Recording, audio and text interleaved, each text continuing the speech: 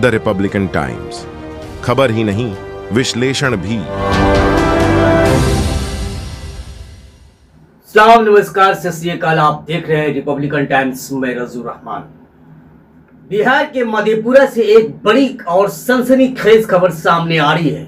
मधेपुरा जिला के उदा किशनगंज में बेखौफ अपराधियों ने दिन दिहाड़े भीषण डकैती की वारदात को अंजाम देकर उदा किशनगंज पुलिस को खुली चुनौती दे डाला है। दिन दिहाड़े घर में घुसकर बदमाशों ने नकदी सहित 10 लाख की डकैती की वारदात को अंजाम दिया है। उदा किशनगंज के जमुनिया गाँव में एक व्यक्ति के घर में भीषण डकैती होने का मामला सामने आया है। बताया जाता है कि चारपहिया वाहन पर सवार होकर आए डकैतों ने बेखौफ होकर डकैती की वारदात को अंजाम दिया। दिन दिहाड़े हुए इस वारदात से जहाँ एक तरफ़ आम आवाम में दहशत के साथ साथ हैरानी और परेशानी है तो वहीं दूसरी तरफ़ इस घटना ने उदा किशनगंज पुलिस की सुरक्षा व्यवस्था की पोल खोल कर क्या हुआ?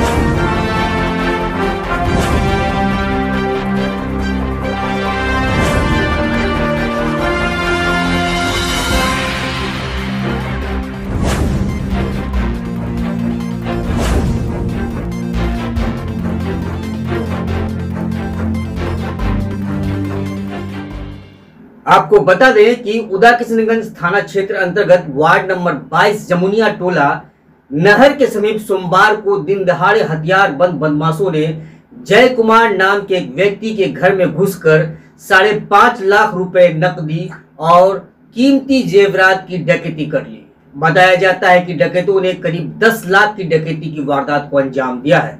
सारा घटनाक्रम सुबह साढ़े नौ बजे से दस बजे के बीच हुआ है। बताया जाता है कि जिस वक्त बदमाश घर में घुसकर वारदात को अंजाम दे रहे थे, उस वक्त उस घर में कोई भी सदस्य मौजूद नहीं था।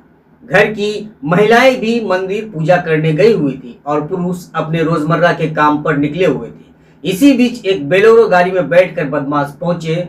बदमाशों की संख्या करीब आधा दर्जन होने की बात बताई जा रही है। घर सूना देखकर बदमाशों ने घर के पिछले भाग के ग्रिल को तोड़कर अंदर प्रवेश किया और घर में ट्रंक को तोड़कर सारा सामान और नकदी लूट कर वहाँ से बड़ी आसानी से चलते बने।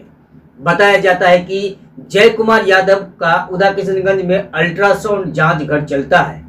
उसी के घर में डकैती की वारदात हुई है। इधर घटना की सूचना पर पहुँची पुलिस जाँच में जुट चुकी है। वारदात के बाद इलाके में सनसनी फैल गई है।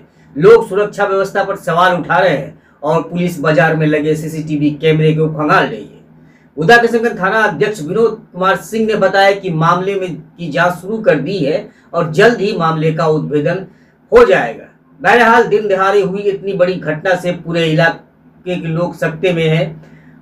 लोग अपने घर के अंदर भी खुद को असुरक्षित महसूस करने लगे हैं, जो निश्चित तौर पर उदा किशनगंज पुलिस की कलई को खोल कर रख दिया है। लोग पुलिस की कार्यशैली पर भी सवाल उठा रहे हैं। उदा किशनगंज से प्रिंस कुमार मिट्टू की रिपोर्ट। क्या हुआ आप? अच्छा बोलिए ना।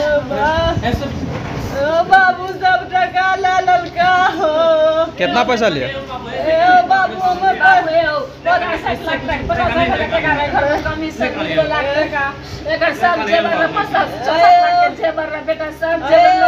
हुआ?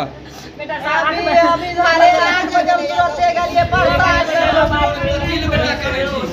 कोई नहीं था घर में कोई नहीं था तुरंत ही गेट बंद कर दिए तो मतलब तुरंत निकले और आप घर खोले तो सारा चीज़ चोरी हो चुका थाना को सूचना दिए? थाना गया अभी तक तो गेले है कितने बजे? साढ़े नौ बजे। साढ़े नौ बजे सुबह में। कितने की चोरी हुई? पाँच लाख। कैश कितना? केस वही चार पाँच लाख और जेवर था। जेवर कितने का था लगा जेवर वही दो तीन लाख के क्या सब था जेवर में?